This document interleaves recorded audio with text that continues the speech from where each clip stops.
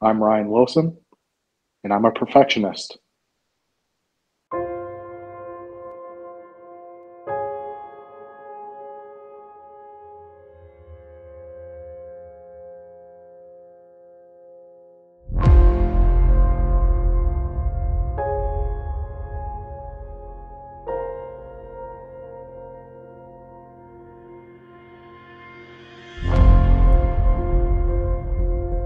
I'd say I take my golf pretty serious.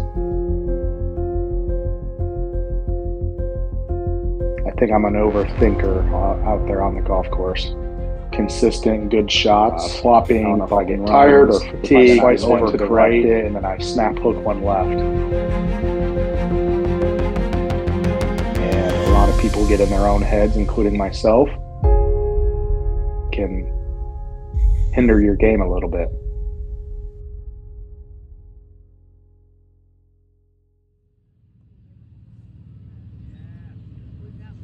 My main focus is to get out of my own head. If I don't meet my expectations, it's extremely frustrating.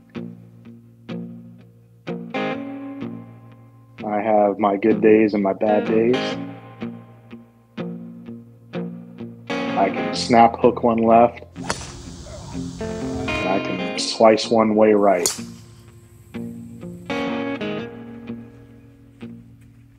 Golf in Florida is awesome. You can play year round down here, but golf in the Midwest, nothing compares to it. It's the best. Every time summer comes around, I know I'll be making the trip out there to Double Par Fest. I am just going to keep on practicing, dialing in my game, and keep on trucking. The best part of my game is my putting. And it saves me a lot of strokes from a lot of my miss hits out on the fairway. If I were to win Double Par Fest this year, it would feel better than winning the Masters. It's been a long time coming. This year's different. I know I'll win the double par fest this year.